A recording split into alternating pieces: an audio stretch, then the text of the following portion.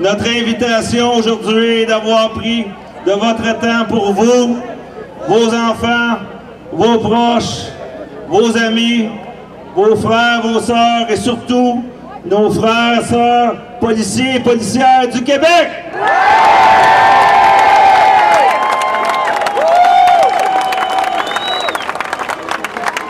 Les mondialistes ont bien tissé leur plan. Ils ont pris le contrôle de chaque gouvernement. Ceux-ci ont investi massivement pour contrôler les médias.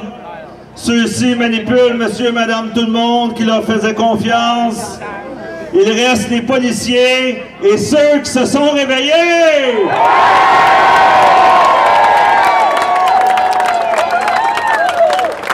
Nous avons décidé de prendre notre sort entre nos mains, de réfléchir par nous-mêmes, de faire des sacrifices en renonçant à des liens d'amitié, plus ou moins nécessaires, disons-le, de faire les moutons noirs dans nos familles, de prendre action, de s'assumer, tout ça dans un but commun, avoir le droit de choisir.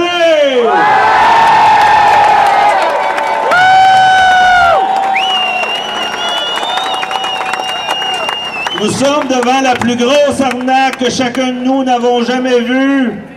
Nous sommes confrontés à puiser dans nos ressources intérieures comme en aucun temps avant dans notre vie, nous l'avons été. Mais pour la première fois, nous avons l'immense privilège de retrouver aux côtés de nous ceux et celles avec qui nous allons l'emporter.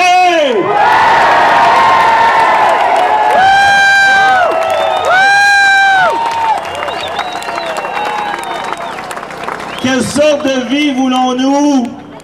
Afficher notre peur inexistante d'un virus manipulé par l'homme, se soumettre, mettre un genou à terre et se cacher le visage comme un muselé ou faire simplement confiance à la vie qui décide tout, continuer d'apprécier les beaux sourires et vivre dans l'amour et la proximité.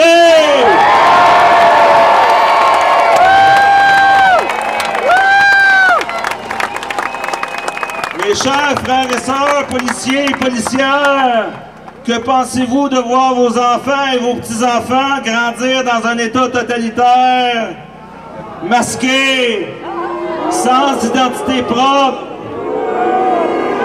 sous l'emprise de ces mondialistes délirants, des Bill Gates de ce monde,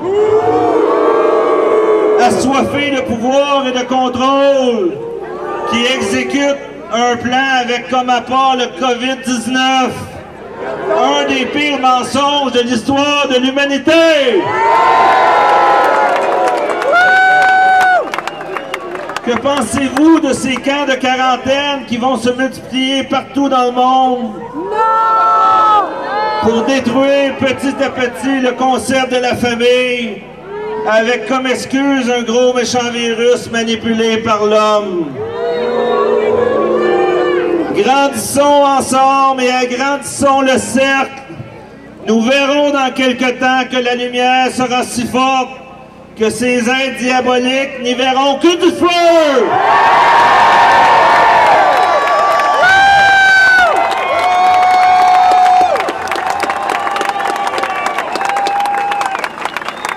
Il y a une triste réalité dans notre société où la race humaine ne demande qu'à croire. Plus le mensonge est gros, plus il est cru. Nous avons une mission pour les prochains jours, prochaines semaines. Convaincre nos proches que ce mouvement de masse dont nous sommes tous témoins et participants aujourd'hui est la porte d'entrée vers la vraie liberté.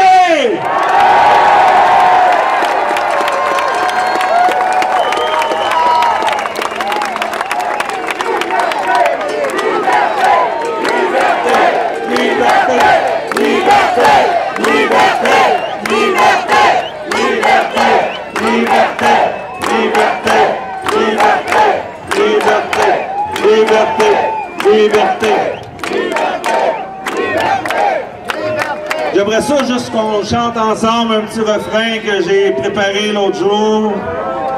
sur l'heure de Il est où le bonheur, il est où? Mais les paroles, c'est Il est où le COVID, il est où?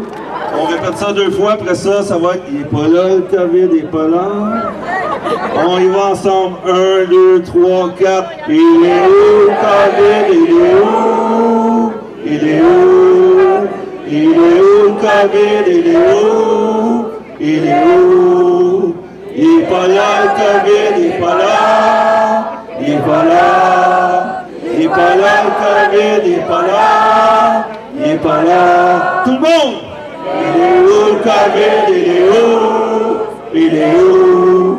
Il est où le il est où? Il est où? Il est pas là le COVID, il est pas là. Il est pas là. Il est pas là le COVID, il est pas là. Il est pas là. Merci. Avant d'oublier, on m'a dit que la pétition sur le site du gouvernement contre la loi 61, on a besoin d'un blitz de signatures.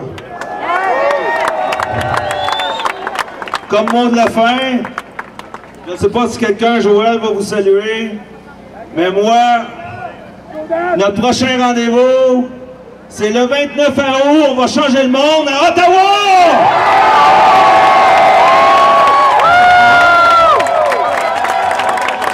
É Merci, paix é et amour à tout le monde. Peace and love to all the Canadiens.